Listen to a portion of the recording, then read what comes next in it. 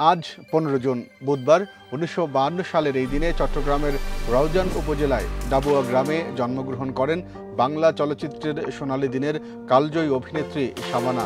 টানা তিন দশক সুনিপুণ অভিনয়ের মাধ্যমে জয় করে নিয়েছেন কোটি দর্শকের মন।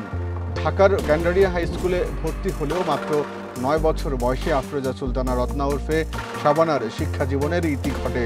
উনিশশো বাষট্টি সালে নতুন সুর চলচ্চিত্রে শিশুশিল্পী হিসেবে আত্মপ্রকাশ করেন শাবানা।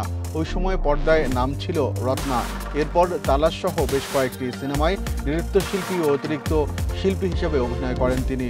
সহনায়িকা চরিত্রে আবার বনবাসে রূপবান ও ডাকবাবুতে দেখা যায় তাকে।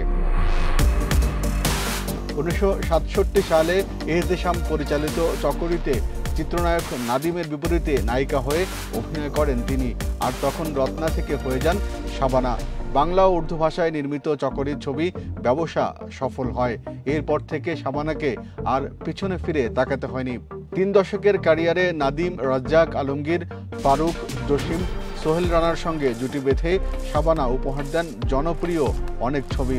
তার উল্লেখযোগ্য ছবিগুলো হচ্ছে ভাদ্যে অবুজ মন, ছুটির ঘণ্টা, দোস্ত দুশ্মন, সত্য মিথ্যা, রাঙা ভাবি, বাংলার নায়ক, ওরা এগারো জন, বিরোধ, আনাড়ি, সমাধান জীবনসাথী মাটির ঘর, লুটেরা, সখী তুমি কার, কেউ কারও নয়, পালাবি কোথায়, স্বামী কেন আসামি, দুঃসাহস, পুত্রবধূ, আক্রোশ ও চাপাডাঙার বউ।